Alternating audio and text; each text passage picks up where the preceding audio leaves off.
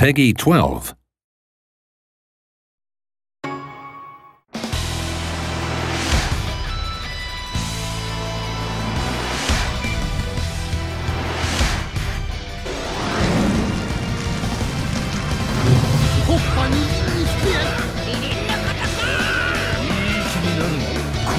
あの熱い戦いがよみがえる「ドラゴンボール Z エクストリーム武闘伝」本格対戦アクションが任天堂 3DS でついに登場。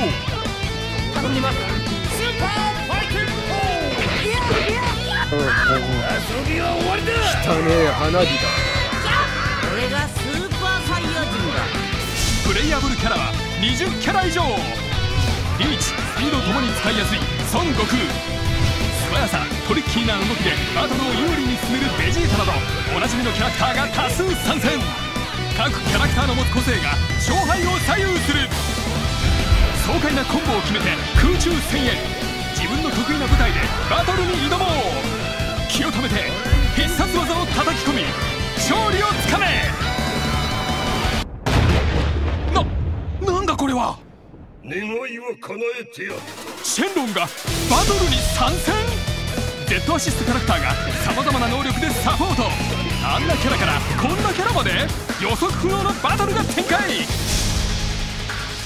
各キャラクターがそれぞれ持つコストを組み合わせて自分だけのチームを作ろう。うまく組み合わせれば最大5人のチーム編成が可能に。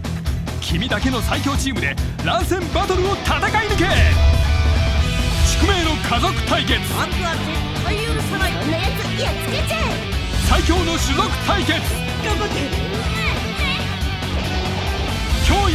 集団対決。負けちゃダメだ。究極の親と子対決。俺より目立つな。夢のパフパフ対決。そんなもんじゃないはずだ。